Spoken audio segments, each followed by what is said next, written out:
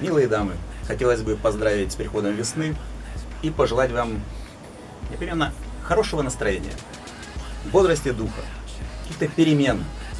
Не знаю каких, но в лучшую сторону.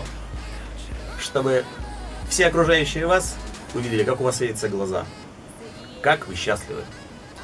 Будьте добрее, светлее, ярче.